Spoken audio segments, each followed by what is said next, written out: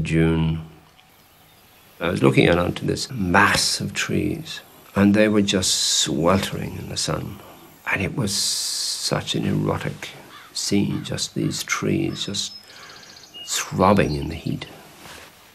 That is, to me, if I can describe that well, and if I can describe the experience of looking at that well, then that's, that's eroticism, that's a sex scene.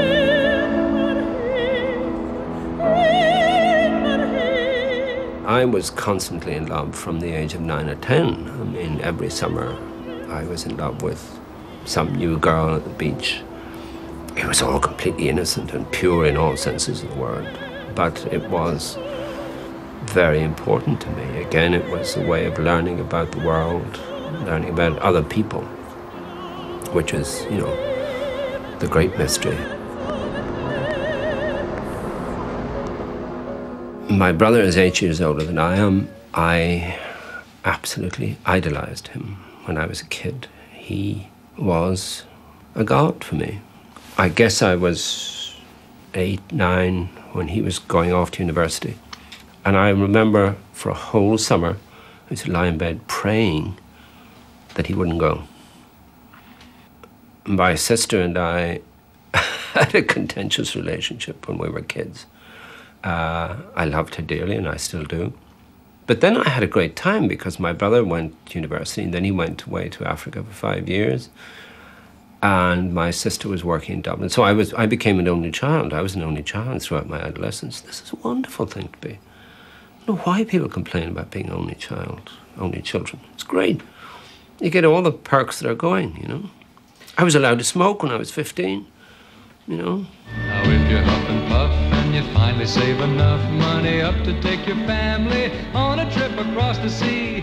When I was 17, all I wanted to do was get away from Wexford. I went to work for Aer Lingus because I could travel. My first trip was to Paris and to Rome. I went to Greece a couple of times. I went to Spain. I went to America repeatedly. You know, one of my first trips was to first class to San Francisco. Corn in the fields, and listen to the rice when the wind blows across the water. It was an extraordinary revelation for me. This was a, an entirely different world. It was like going to Mars or Venus. I can remember being on Telegraph Avenue in Berkeley and seeing my first afro. I couldn't believe it. I thought, you know, something had gone horribly wrong with somebody's head. And here was this extraordinary hairstyle. I'd never seen such things. I'd never known that life could be this free.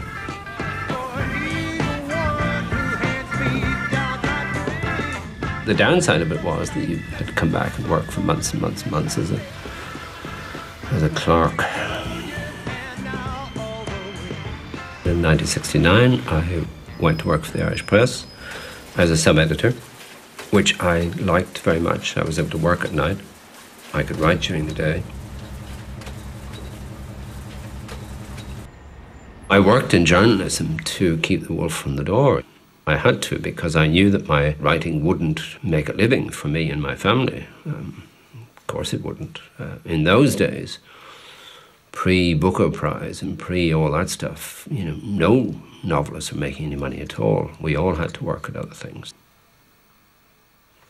Graham Greene said that the best job that an aspiring novelist can have is a sub editor, and I think it's true. It does teach you about language, it teaches you about marshalling facts.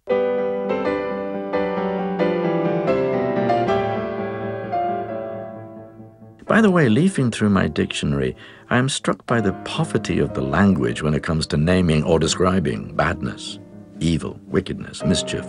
These words imply an agency, the conscious or at least active doing of wrong. They do not signify the bad in its inert, neutral, self-sustaining state. With a prize money of £50,000, the GPA Literary Award is the most valuable literary prize in Europe.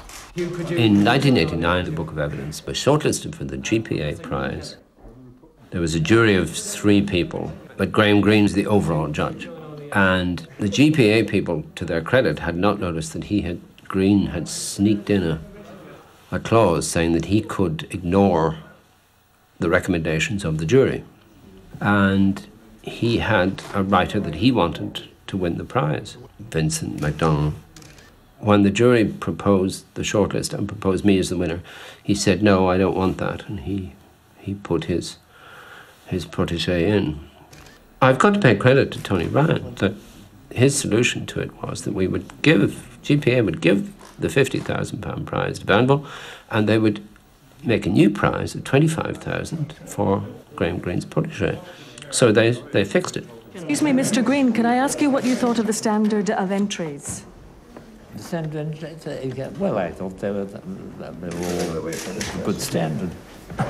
Were you pleased with the No, I'm not, competition? going, I'm not going to speak about the books at all. The whole business was rather grubby, and I felt grubbified by it. And Greene behaved, I think, very badly. He knows all about betrayal, the large variety and the small. He is a connoisseur in that department. Well, many people have said this is a, a, a caricature of um, Graham Greene. I would deny this strenuously, of course. When he was at the height of his fame, I used to chuckle over newspaper photographs of him hobnobbing with the Pope, since I knew that the lips with which he kissed the papal ring had most likely been between some woman's thighs a half hour previously. I hate all photographs of myself, but that is the one that I really love uh, of Greene standing there glaring at me. It's just a wonderfully comic photograph. It sums up for me prizes and prize giving, and when writers come out of their little hole in the ground and try to pretend to be human and you know dress up in their three piece suits and you know it's, it's just the whole thing is so hideously awful that I love it. It's my favorite photograph of myself. It's the only one I can look at with any pleasure because it's I laugh every time I look at it. It's a great picture.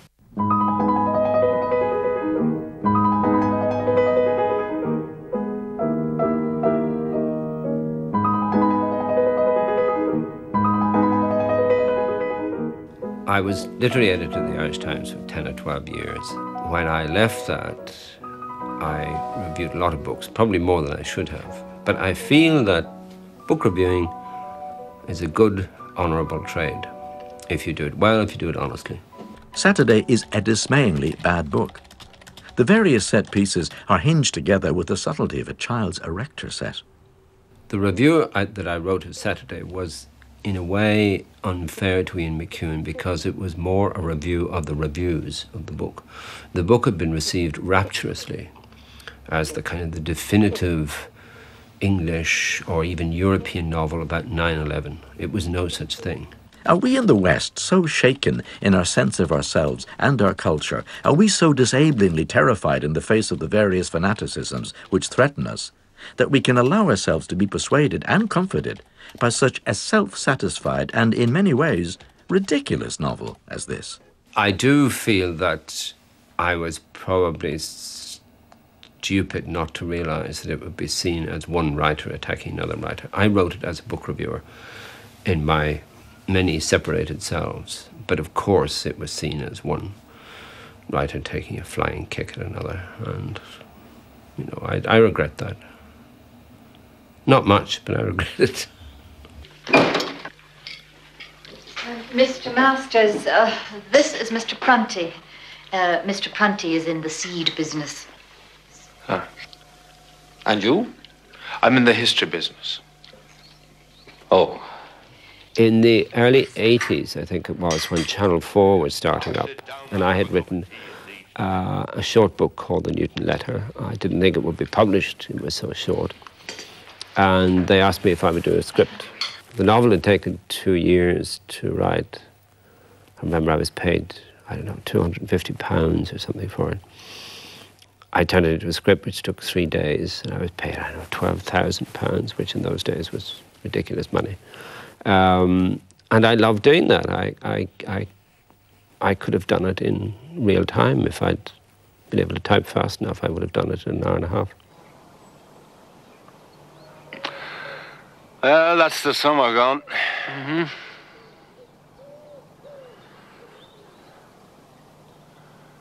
You're a hard man. What? come come up for tea this evening? They phoned me one evening and said that Donal McCann had delivered one of the lines uh, with the words slightly out of order. It made sense, but the words weren't as I'd written them. But the scene was very good, and could they keep it? And I said, You guys are supposed to be over there betraying me. You know, what, what is this? And I think that in a way that was their mistake. They stuck too closely to the script. I mean, to me, a script is simply a thing that you start with. It's a, it's a, it's a, a skeleton, and then you put flesh on it. I think that all scripts should be betrayed. That's what a director is there to do. I think that novels, when they're turned into screenplays, cease to be novels. They're of no consequence. And if you're going to come to the movie with a precious attitude of, you know, my, my wonderful creation must not be interfered with, then stay away from the movies. Neil Jordan came to me to ask if I would adapt Elizabeth Bowen's Last September. In the novel, the IRA character is merely glimpsed in the background. But because Bowen was such a master of nuance and of suggestion, he pervades the book. But you can't do that on the screen. On the screen, you have to see the character.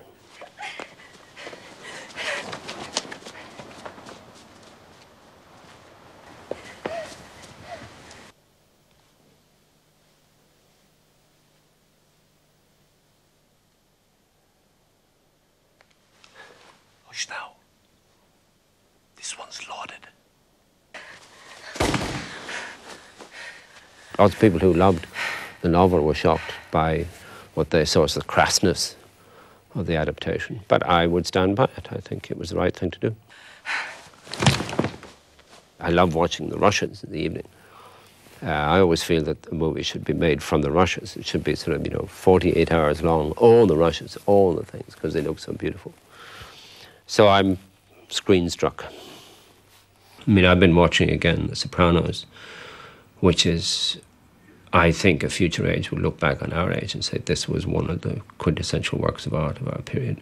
I mean, it's, it's as close to Greek tragedy as we can get in our time. Absolutely superb.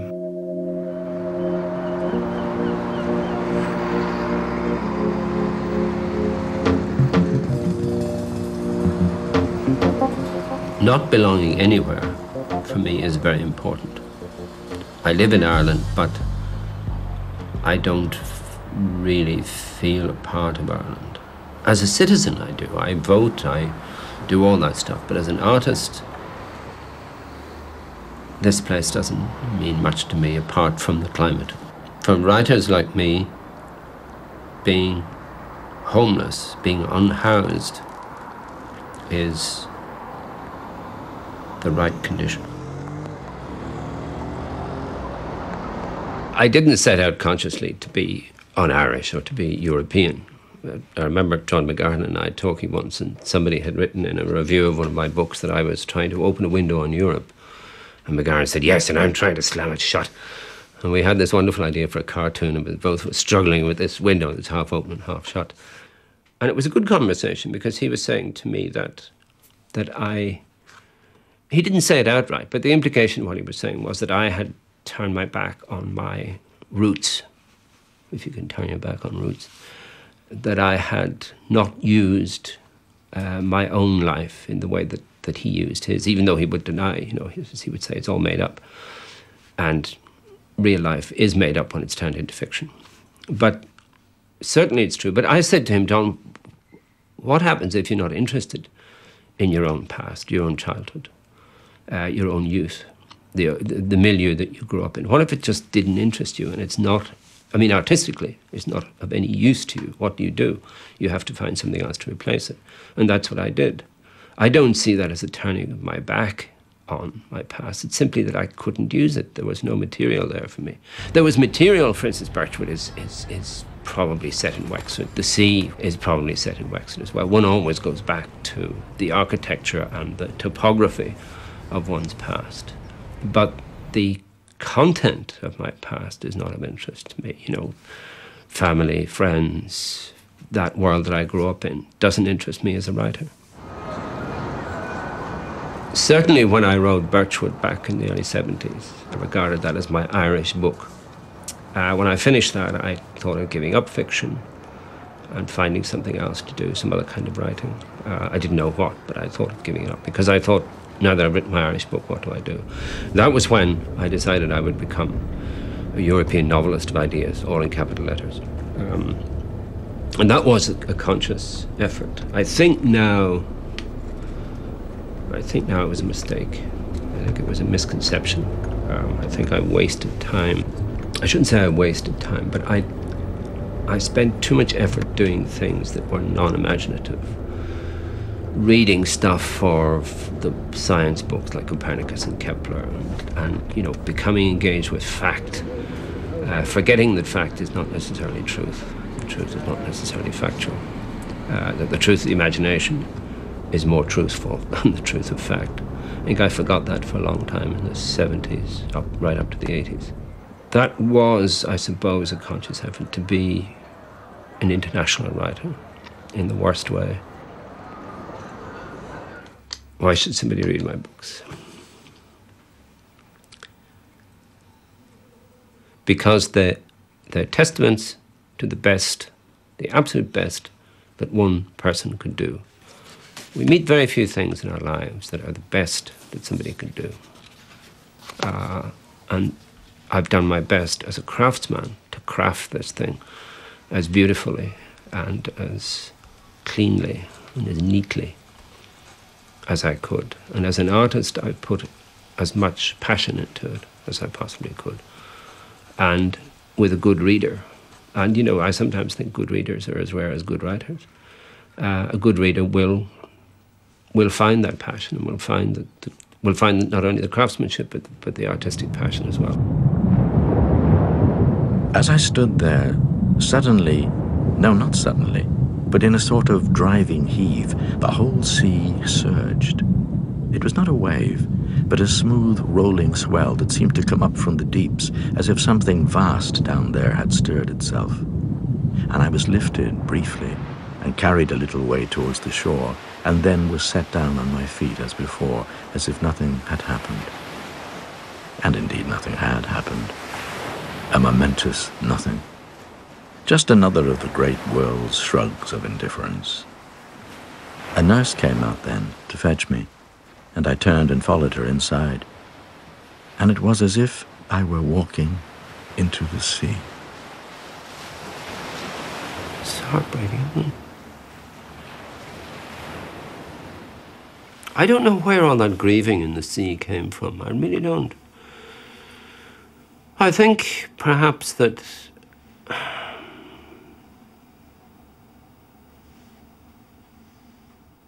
I know I talk too much about artists and what we are and what we do and how we function, but I suspect that part of being an artist is not being able to feel in time you know, that we feel after the event and long after the event.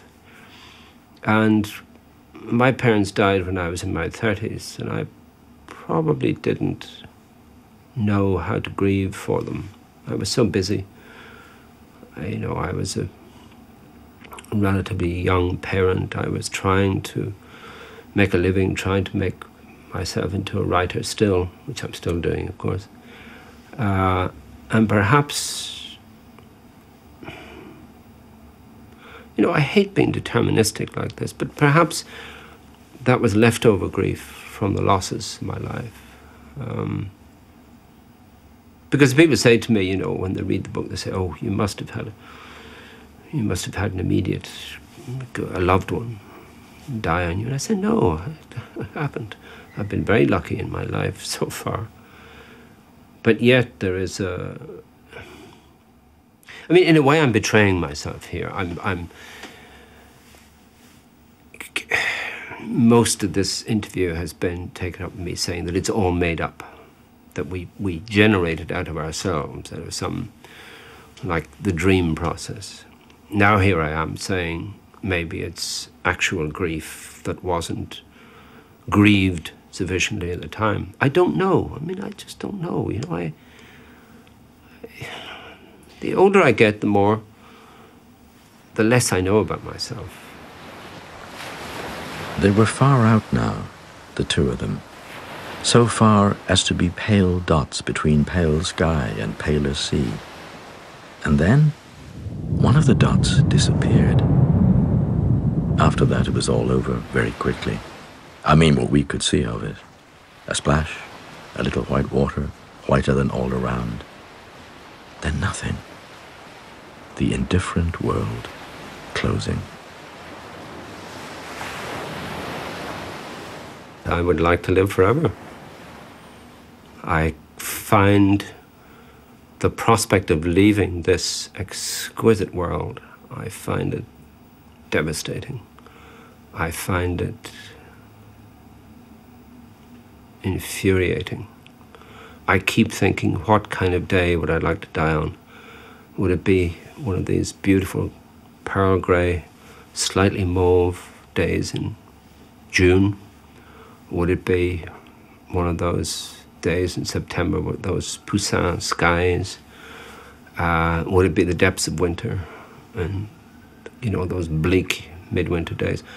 None of them suits me. I don't want to go on any day. I want to stay forever. So, and curiously, I mean, this you probably won't broadcast this, but curiously, I find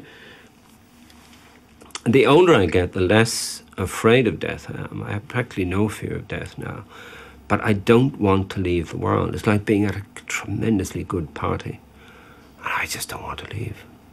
You know, um, I know that I'll have to leave and so on, but I, you know, I just don't. It's just so good. It's so beautiful. It's so exquisitely beautiful being here.